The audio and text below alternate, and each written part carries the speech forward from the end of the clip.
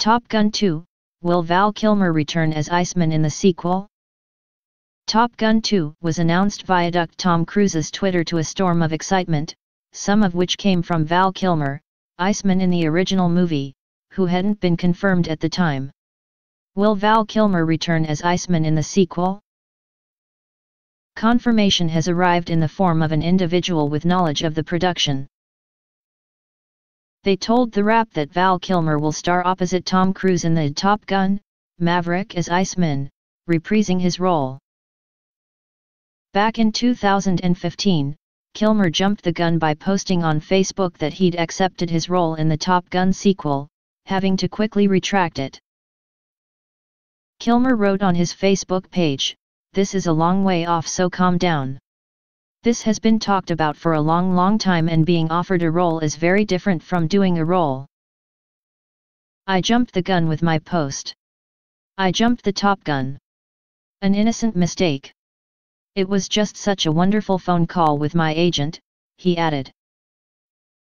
Now, however, rumors are turning to fact. The long-awaited sequel to the 1986 rave blockbuster features Cruise back as Pete Maverick Mitchell, now a trainer to the next generation of U.S. Navy fighter pilots. Kilmer played aviator Tom Iceman Kazansky.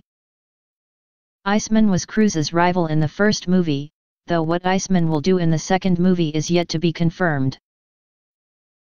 The news should come as a relief to fans of Kilmer on social media. The 58-year-old Kilmer posted several posts on social media, including one in which he wore an Iceman t-shirt.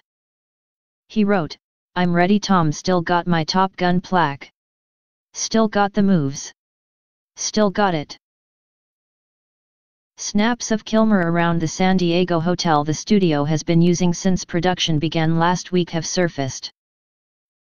Paramount has declined to comment, but as soon as they do fans can officially rejoice. The Top Gun sequel comes from Paramount and Skydance, with Jerry Bruckheimer producing.